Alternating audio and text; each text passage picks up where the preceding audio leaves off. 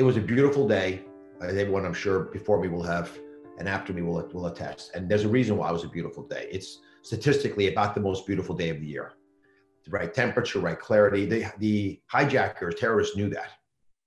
Uh, the same way that the people who plan the New York Marathon know that it's a dry day that generally tends to be of a moderate temperature. That's why they picked the first Sunday in November as the day for the marathon. But you don't want the runners getting rained on. You don't want to have freezing cold weather and bad conditions. And that's why, what a coincidence, it tends to be really pretty on that day. So 9 11 they picked because it's always a beautiful time in New York, uh, the end of the summer. And I went to the hospital because I was teaching a course about mechanical hearts. And the group that I was teaching to um, were a bunch of physicians and nurses, but the company that made the mechanical heart was based on the West Coast. And it was interesting to me because the guy who was sort of in charge of this whole project left that morning because his family was having an event and he wanted to get home to them. So he'd he'd flown out that morning. Um, and I, I, just heard that as I went and I remember giving the lecture to the, uh, it's a conference room with maybe 50 people in it. So I'm lecturing these doctors, nurses, technicians about this mechanical heart program that they're going to have in their hospital, even though the guy was in charge of it had left to go back to his family. And then I went back to the operating room. So now it's, uh, you know, it's still early in the mornings before nine o'clock. But my case, I'm doing an aortic valve operation where a person who has very tight aortic stenosis a blockage of a major valve coming out of the heart needs to be replaced. So I went down, talked to him about what was about to happen, uh, signed the consent, and then he went to sleep. And as he went to sleep, um, I uh, I went back over to the lecture hall, and there's at Columbia Presbyterian where I practice, New York Presbyterian. There's a a bridgeway that goes between the medical school building and the hospital building. So I crossed back across that bridge, and I remember looking downtown because I had a bird's eye view of it, and I noticed there was smoke from the. I couldn't tell what it was from, but it's like someone lit a big match on fire. And when I got into the lecture room, someone said that a a, a pilot had somehow, by mistake, and crashed into the World Trade Center. It was probably a small jet uh, or private plane, propeller plane that someone had not not well piloted and crashed into the World Trade Center, which is a horrible tragedy. And uh, so I, uh, I, you know, lamented that, went back to the operating room. And when I got into the operating room to start doing the actual case, So I'd taken, I'd opened up his bone. One of my uh, assistants, the perfusionist, the person who runs the heart lung machine, said, uh, there's been a second plane that's hit the World Trade Center. And I remembered that, I mean, again, I'm looking at the heart pounding like a python trained inside this, you know, man's chest, like coiling back and forth desperately trying to get out, sick, ill because of this valve that's stuck, so they can't pump the blood out to the body. And I got goosebumps, not from that, but from the thought that there was a second plane. So obviously it wasn't an accident. And I told the perfusionist he was to, to, to block out all information. There was to be no more discussion in the room at all about what happened because I could not have the anesthesiologist and the nurses and me distracted by what was happening outside the world. There's only one life I could save, only one life I could lose. And that was the, the guy whose chest was open in front of me, the man who I just spoken to half hour earlier and put to sleep.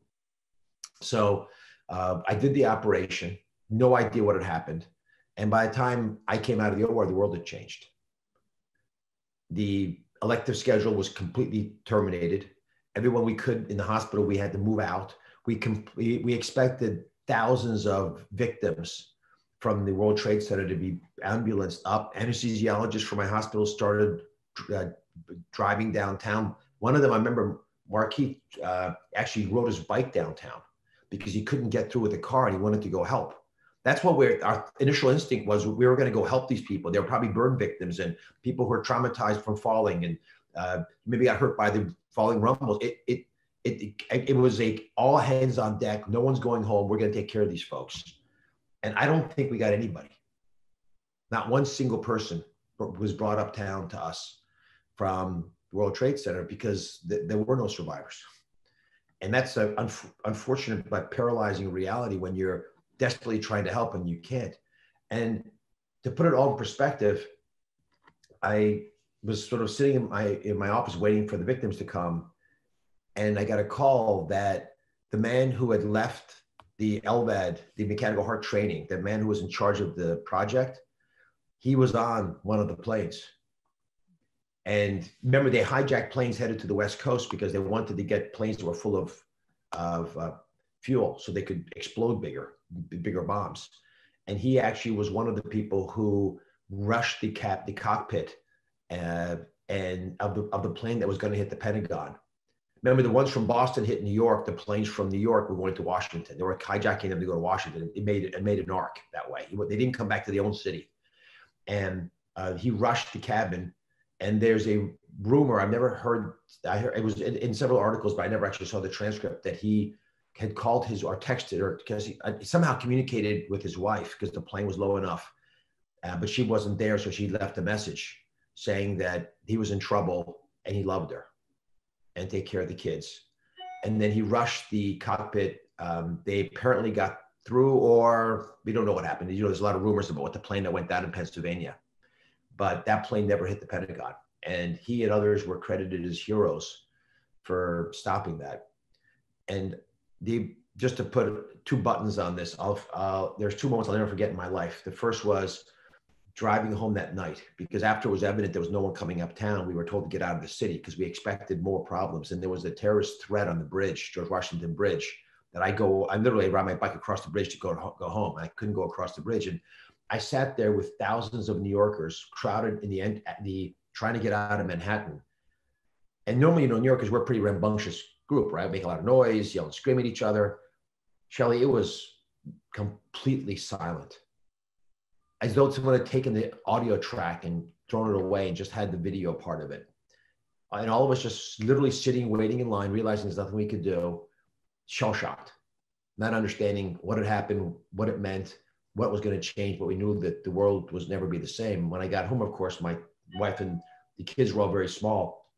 Uh, we're very emotional because our apartment was on the Hudson River with a panoramic view of the World Trade Center.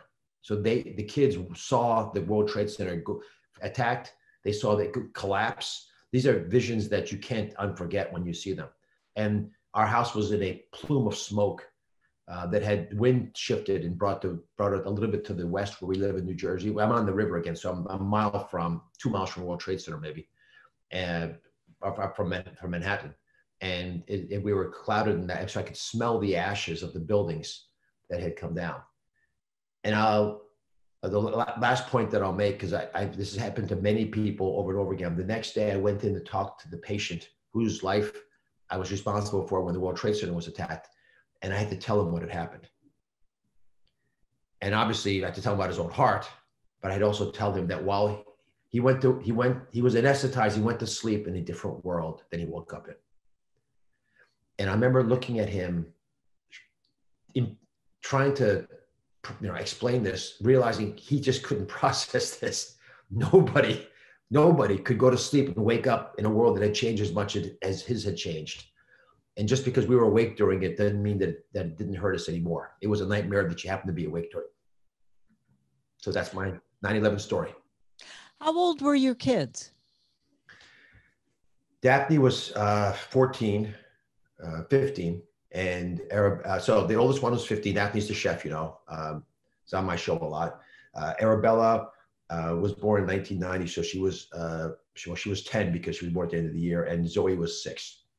So you know, 14, 10, 6 basically. The, and the, the youngest one, Oliver, was uh, a year and a half old, and he was the one that Lisa held, not knowing whether to run or not when she saw the attacks. Because remember, we didn't realize that it was going to be limited to the World Trade Center. We didn't. We also didn't realize how devastating those attacks would be, but we fully anticipated there would be more terrorist attacks happening throughout Manhattan. Um, you know, and you know, nuclear alternatives. I mean, there were bad things that were in our, you could imagine. You, the worst you could imagine had already happened. So you have to start imagining worse. How did your older children handle all that? Well, there's a naivete when you're that age. You think anything that's happening must have happened before because you're so young. They didn't realize that it would be the moment that would define their lives, and they were only toddlers or siblings, you know, children, infants. Um, but it did define their lives, and because of that naivete, I don't think it fully hit them. They knew it was a catastrophe. They could tell from the way Lisa and I reacted, and everyone around them.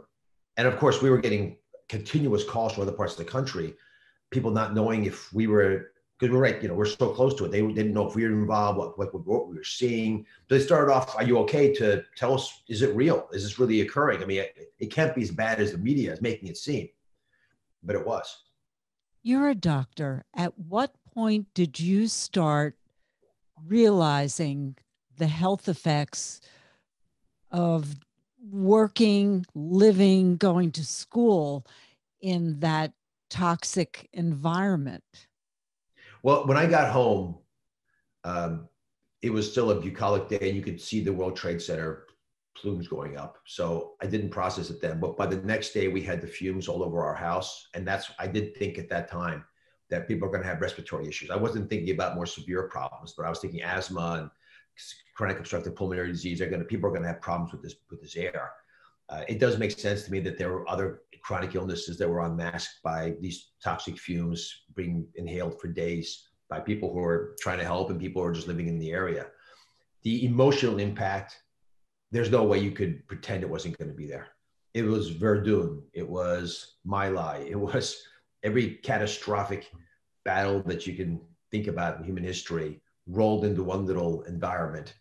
You know, it was like the Dresden fire bombings, but in you know middle of New York. And so people, there's our minds are not not evolved to, to cope with those kinds of catastrophes. We're used to the smaller catastrophes. Someone you love dies, a terrible car accident. I mean, even those are scarring, but you don't think about your your world being attacked, which is what happened. And how do you think that either prepared us or didn't for our current pandemic? I don't think it prepared us. It's very different. You had a named enemy. You could focus your anger on that. It unified us because um, that's what people do when they have an opponent they can see. The virus did the opposite because we began to blame each other because we began to see each other as the enemy since we actually carry the virus. And I think that's one big lesson that will come out of this whole experience is the people who grew up, who came of age with 9 11 saw a nation respond very differently. And we're good enough to respond that way. We don't have to respond the way we're responding now. Okay. I thank uh, you, Dr. Oz. Stay safe, stay well,